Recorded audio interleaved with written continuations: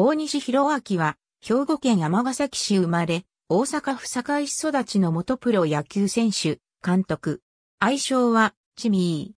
高校時代は、攻守のようで、エース上十、サトシや首相、平石洋介と共にチームを牽引。1998年の第70回選抜高等学校野球大会では、準決勝敗退。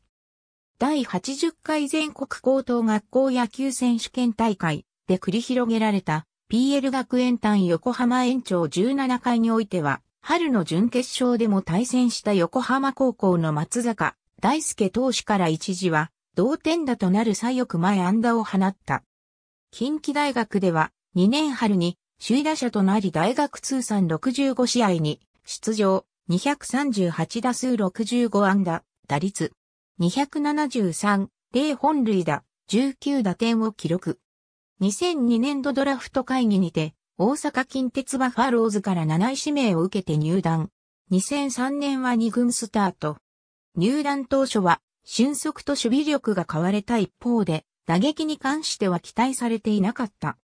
しかし、打撃コーチであった鈴木隆久が大西の打撃センスに目をつけて熱心に指導した結果、打撃でも力をつけていき、2軍では打率317本塁打の成績を残し、シーズン終盤には1軍出場も果たした。2004年は下山真司の不振もあり、左キラーとして1軍に台頭。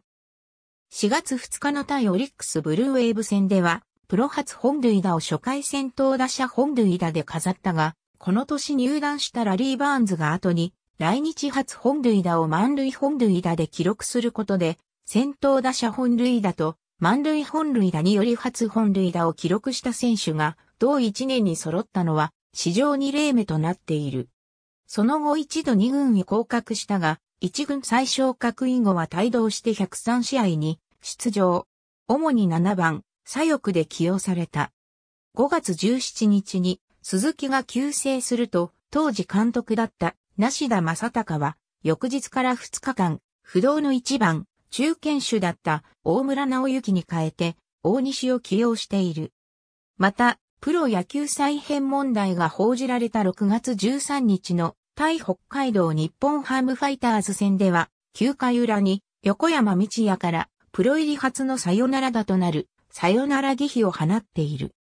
この年に新人王最優秀救援投手に輝いた店工事から3本塁打を放つなど対左投手に無類の強さを見せた。以降、対左投手に対しての起用が多くなっていく。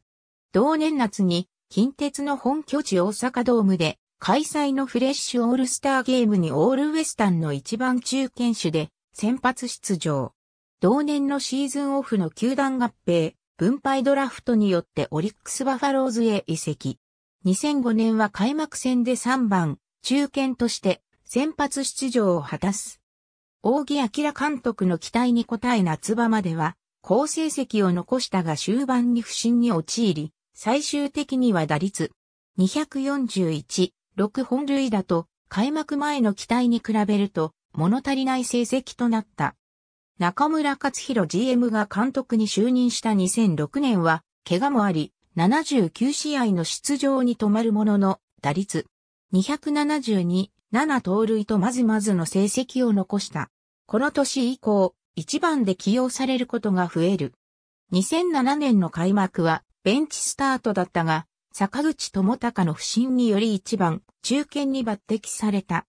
師匠である鈴木の命日であった5月17日の対ソフトバンク戦では、7回表の打席で鈴木の応援歌が演奏される中、和田武史から同点の2点的自打を放って逆転勝利につなぎ、チームのシーズン2度目の大型連敗を6で阻止した。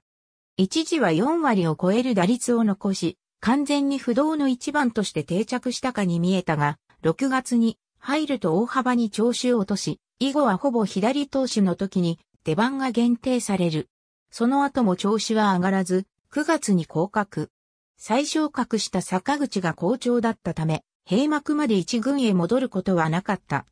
結局、83試合に出場して打率247、4本塁打と不本意な成績に終わる。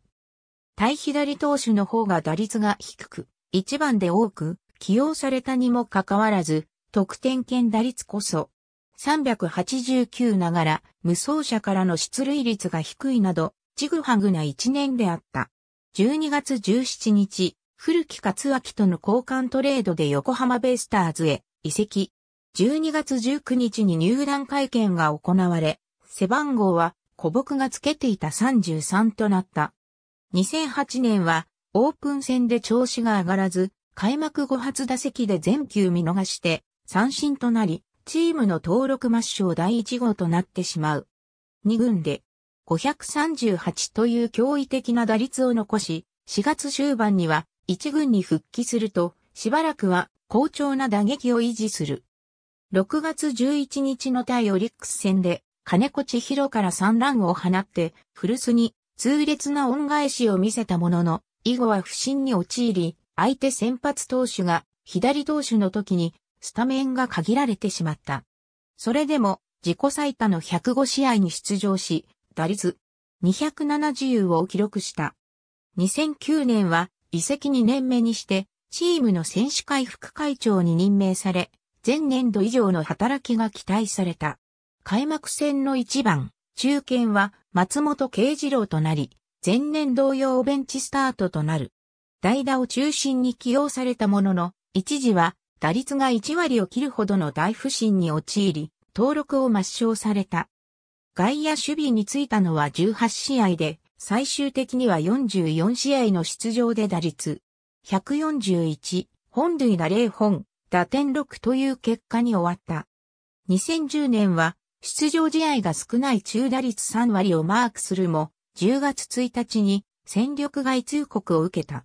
11月10日、12球団合同トライアウトにて4、安打を放ち盗塁も決めた。12月3日に福岡ソフトバンクホークスと育成契約を結んだ。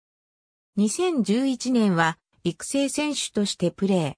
ー。2軍で39試合に出場、打率は211にとどまり支配下へ昇格できず、10月9日には前年の横浜に続き2年連続で戦力外通告を受け、わずか1年でホークスを退団。11月7日に自由契約公示された。